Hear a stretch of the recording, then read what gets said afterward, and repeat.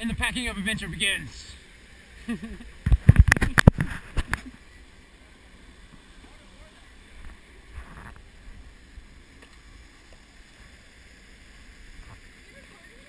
yep.